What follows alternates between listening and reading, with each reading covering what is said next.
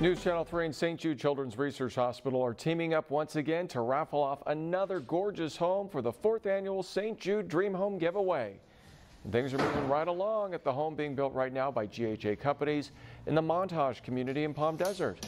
Three bedroom, three and a half bath home has an estimated value starting at $925,000.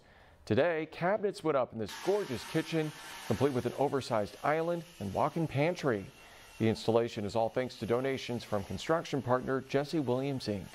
We will be installing the cabinets in the kitchen, bathrooms, uh, doing vanities, uppers, and then going from there and finishing it up. This makes me feel great to be able to help out in the Dream Home for St. Jude and for people that need it in this time. The last dream home in Palm Desert sold out quickly weeks before the deadline, so act fast. Purchasing a ticket will not only enter you for a chance to win this home, you'll also be helping St. Jude provide children with cutting-edge treatments at no cost to families. Mark your calendars. Tickets go on sale tomorrow, January 10th. And you can always find details at kesq.com slash St. Jude Dream Home.